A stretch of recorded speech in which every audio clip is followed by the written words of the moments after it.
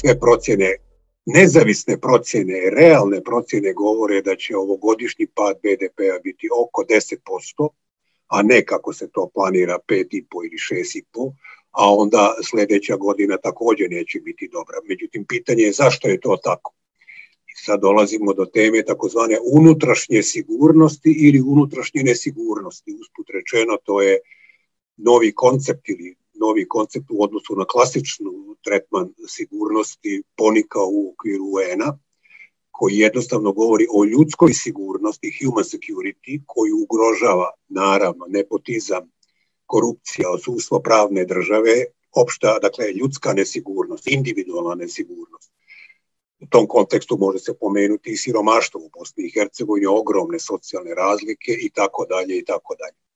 Ta, dakle, unutrašnja nesigurnost koja svoji politike, ako tako mogu reći, aspektima u ovome što su tri jednopartijska sistema, dakle dva već završena, govorimo HDZ-u s jedne i SNSD-u drugi druge strane i treći koji je u formiranju ili u finalizaciji, govorimo o SDA i njegovim takozvanim BH blok partnerima, dakle, proizvodi prirodno unutrašnje tenzije, političke konflikte i tako dalje. To onda otvara vrata, sad nije reč samo o vanjskim financijskim potresima, otvara vrata i onome što su e, maligne ambicije susjeda ili bilo koje druge druge strane sile. Dakle, da bi se ta unutrašnja sigurnost je pretpostavka i glavni faktor stabilnosti neke države, nekog društva i neke zemlje. Bez te stabilnosti potpuno ste izloženi svim geopolitičkim igrankama koje se u ovoj regiji ili svijetu mogu igrati, a najgora situacija je, vrlo ću metaforički to reći, situacija u kojoj e, ćemo biti trava, na kojoj se sudaraju dva, bar dva velika slona i tad naravno ne stradaju slonovi nego strada trava. To je metafora inače poznata. Dakle, to mi se čini e, glavnim problemom i mi jesmo izloženi finansijskim potresima upravo zbog ove unutrašnje situacije. I nekoliko riječi o zaduživanju. Pazite, u ovoj korona situaciji sve granice su zvanično skinute u svim zemljama u pogledu zaduživanja uopšte nije problem ili nije na glavni problem koliko neka zemlja uzima kredita, nije ni najvažnije odnos između zaduženosti i BDP-a, najvažnije je zašto se ti krediti koriste. U nas praksa je nažalost takva da ti krediti nisu bili korišćeni za razvoj privrede, strukturne promjene u privredi, dakle nisu bili poluga ili generator budućeg razvoja gde je onda nije bio problem da se vraćaju, ne bi bio problem da se vraćaju, već su uglavnom korišćeni za održavanje javne potrošnje, što je opet vezano sa ovom korupcijsko-nepotističkom jednopartijskom šemom koja postoji u Bosni i Hercegovini. Time se naravno de facto finansira članstvo partija, u velikoj mjeri ili samih, samih partija.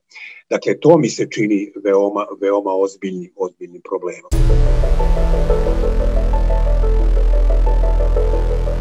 Ja mislim da je našem shvatanju sigurnosti problem u tome što ovaj unutrašnji aspekt nesigurnosti ili sigurnosti ne shvatamo, sve se reducira na takozvani spoljnopolitički, geostrateški aspekt sigurnosti koji je naravno veoma važan.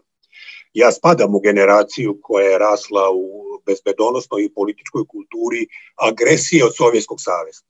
Dakle, e, totalno sam antiruski raspoložen, ako tako mogu da kažem, govoreći modernijom terminologijom, ali veoma sam bio skeptičan prema aktivnostima koje su dovele do usvajanja ovog napa, zato što su one produbljavale tenzije i razlike u Bosni i Hercegovini.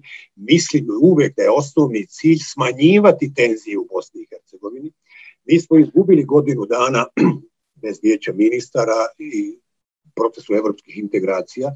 Ojačale su separatističke tendencije u Republici Srpskoj koji su postali ranije otvoreno velike i važne. E, sa stanovišta samog NATO pakta, bez ikakve idealizacije NATO pakta, nije to ovaj ideal ovakav ili onakav, u konkretno istorijskim nekim okolnostima sasvim sigurno biću prije za NATO, ali kad se steknu okolnosti gde NATO članstvo neće uznemiravati, destabilizirati Bosnu i Hercegovinu.